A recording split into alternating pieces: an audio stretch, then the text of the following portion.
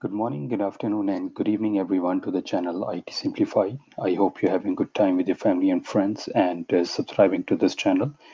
In today's session on Azure, I'm here to show you how you can restrict traffic to your backend pool, the one that we created in our last video.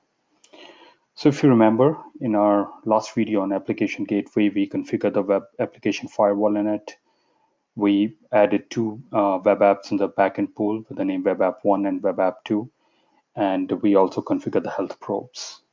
Now, what happens is that because when we talk about web apps, right, there is a public endpoint which is created, and uh, what we want is that uh, any user who is trying to access this uh, uh this uh, website, they should not be able to go directly to my web apps, right? All the traffic should fall uh, should go through this uh, web application firewall and uh, they should not be able to reach the web apps in the backend pool directly. That is the whole idea about uh, application gateway with WAF enabled. So let me just quickly show you. So if you see right now, nothing has changed. If I pick my application gateway front end IP and go, you can see I can reach, so everything is working fine.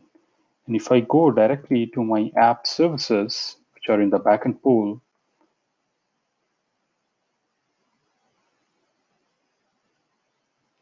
and if I grab this URL,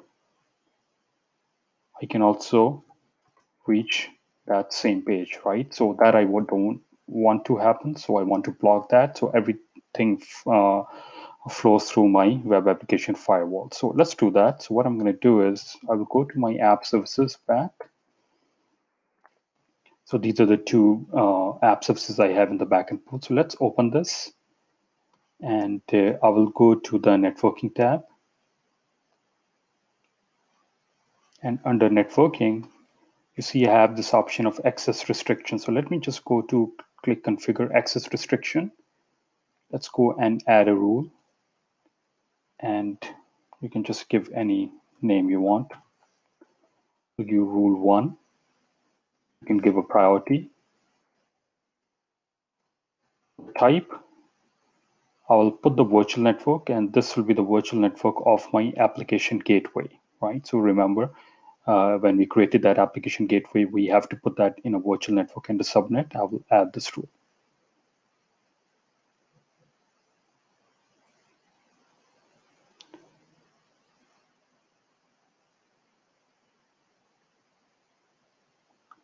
All right, so that rule was added successfully and I will do the same thing for my other web app.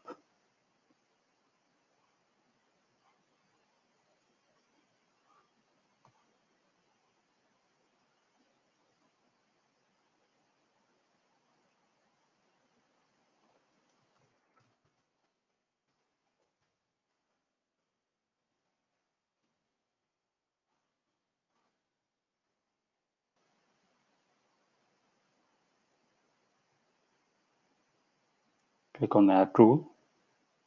All right, so both the rules were added successfully. So now let me just go and test this now. So first I will go and test with my application gateway front-end IP.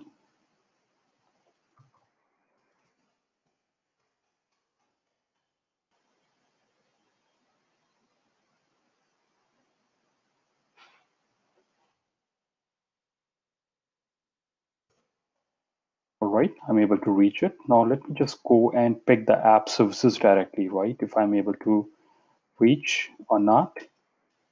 So let me just go and grab this, copy, and let's see if I'm able to. So you can see I got the error. So in this way, uh, this will make sure that everything is flowing through my web application firewall and uh, via application gateway. And we have uh, prevented direct access to our web app. I hope you found this video useful. Thanks for watching. Have a good day.